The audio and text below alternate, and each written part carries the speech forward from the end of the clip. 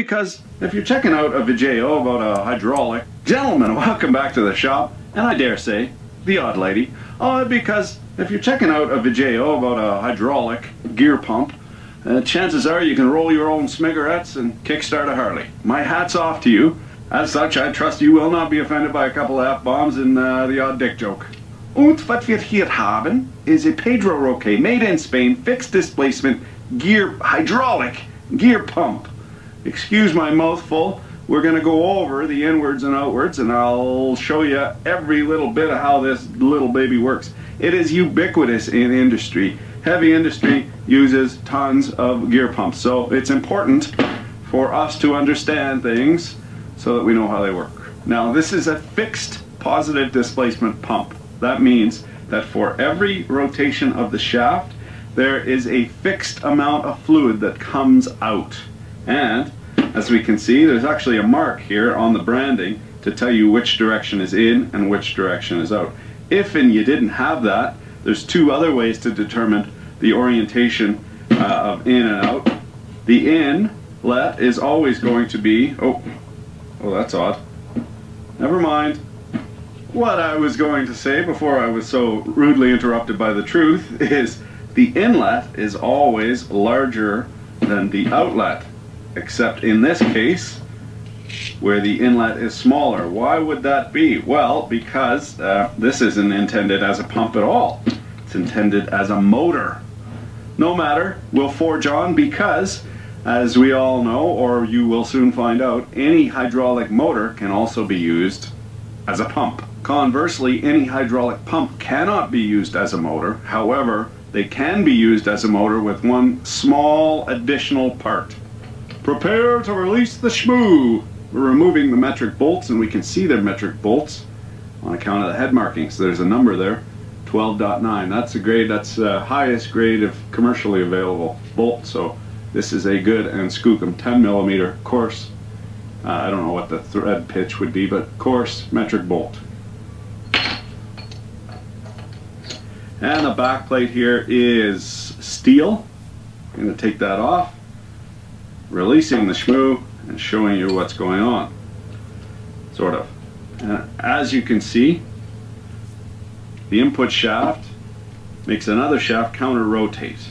Now why is that? Well, let's get into it a little bit further. You can see uh, it's been used, it's got hydraulic fluid in it.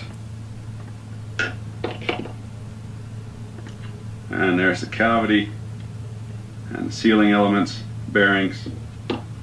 Let me show you what's really going on.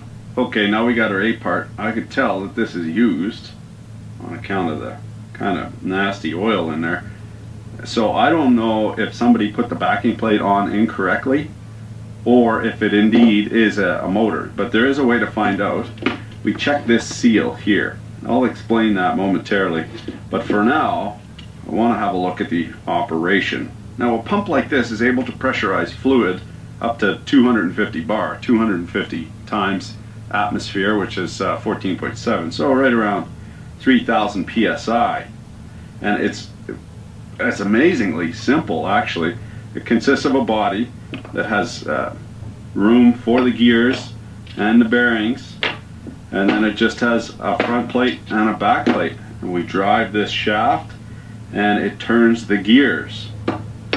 Now if you look at this, when this gear is getting turned from the inlet, which is the big one, to the outlet, if we're turning it this way, what's happening is that oil goes in this side, so this is flooded from the tank. There's oil in here, but it's sealed along the periphery.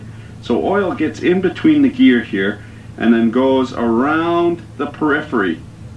And for every rotation, it forces more and more in. You see that? Think of the oil going in here and it goes around the periphery and around the periphery. Now, the problem is, that's very simple, but the problem is, of course, you're going to have oil on this side as well that's getting jammed in the middle and it has nowhere to go. So if oil has nowhere to go and you force more of it, more of it, and more of it, and more of it in there, eventually the pressure rises so high that the pump explodes. So we need to do something about that. And this is what we do. We have a special bearing face. This is a DU bearing, so it's a Teflon, essentially a Teflon bushing. And that lasts an extremely long time because, of course, this is pressure oil lubricated. There's pressurized oil in there at all times.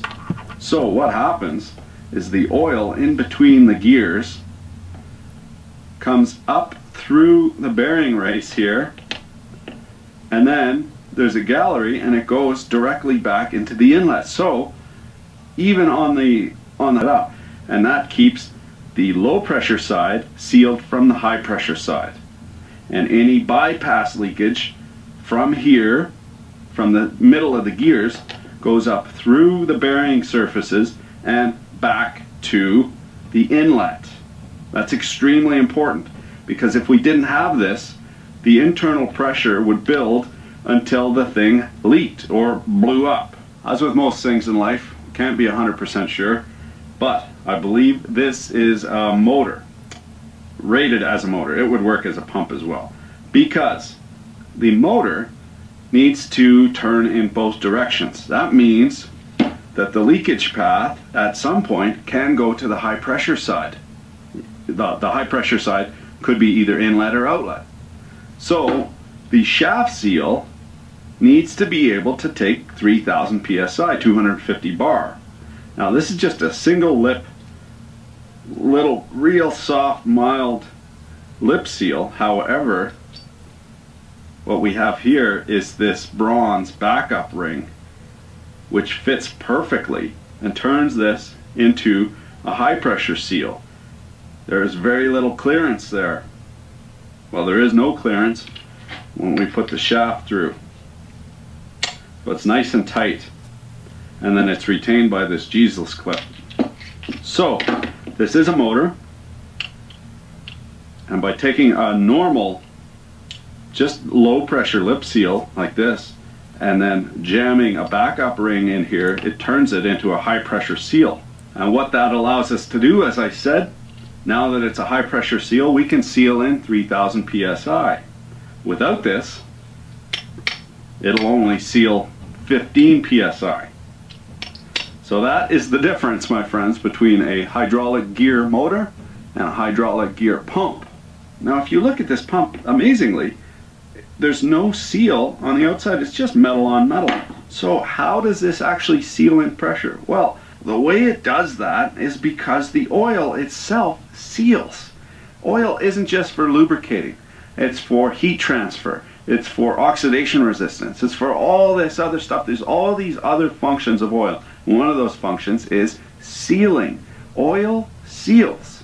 So all the manufacturer needs to do is make sure that the clearance is close enough so that it can turn freely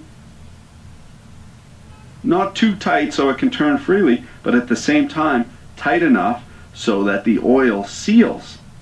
Now how do you know if one of these is junk? Well one normally this seal will blow out and you'll have oil pissing out of there but two if it's not making any flow it doesn't give you any pressure generally because you're not you don't have a flow gauge on equipment you have a pressure gauge. Now there's something to be said about that and I'll get to that but if there's no pressure in your the the pump is suspect it's four little bolts you take it apart. If you see this housing this is an aluminum housing steel gear. Now you see this housing is all scored up you know it's hooped you got to replace it.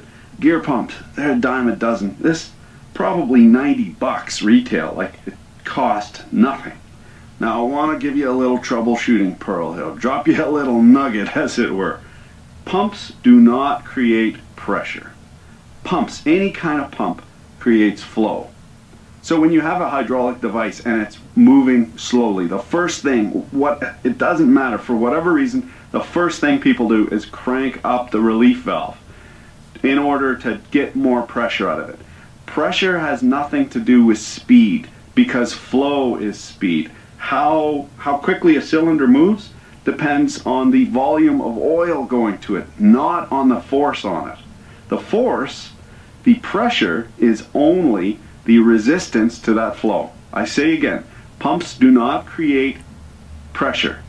They create flow. And pressure is the resistance to flow. If you take the line off here, off, off the backside, just take it right off, and then run this pump, what do you think the pressure is going to be inside the pump?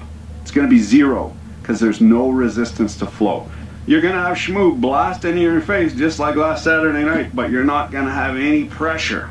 By the same token, if you make a hydraulic system and you block off the outlet, if for whatever reason, say you, you put this directly into a cylinder and the cylinder moves, once the cylinder bottoms out, it can't move anymore, what happens to that oil? The pump is still turning. It's still forcing more and more oil in there. What happens? Fucking explodes. You need a relief valve in any hydraulic system so that when you get up to a certain pressure, the relief valve shuttles over and diverts oil back to tank. So anytime you build a hydraulic system, you have to have a relief valve. Now, getting back to the port size that I mentioned at the first of the video, why would you have two different size ports? Because on the inlet, the pressure is actually lower than atmospheric. And when oil when you suck on a fluid, you lower its vapor pressure and it could boil. That's called cavitation. Now it actually boils at low temperature. And what cavitation is, it creates tiny little bubbles and then those bubbles implode. When those bubbles implode, it takes a chunk of metal with it.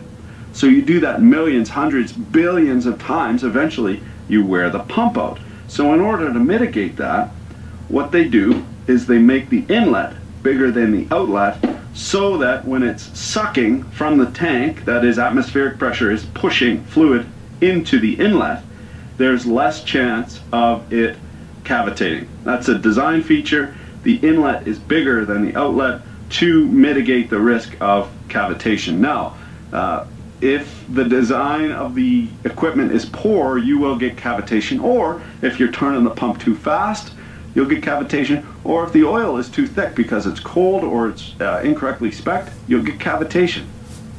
And cavitation kills pumps. What if you get an off-brand Chinese one and it doesn't have an, a, the ports are the same size because they want to be able to make them cheap and they just slap them on any which way. And there's no indication of which direction it should turn. That is, there's no arrow saying inlet and outlet. How do you know which way this shaft needs to turn. It's either got to be on a clockwise or a counterclockwise rotating motor.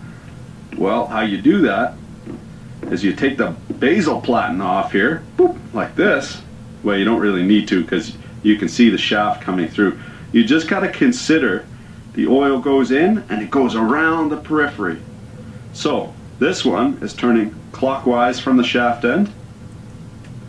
Conversely, if it were over here, if you looked at this and it were over here, it would need to turn counterclockwise. Now knowing that, if you buy the wrong pump, say you have a, a clockwise turning motor and you need it uh, counterclockwise rotating, all you need to do is split the pump, turn it around, making sure that your leakage paths are going to the inlet. Now we got the assembly in there correct. It's a small matter of torquing the bolts down. Click.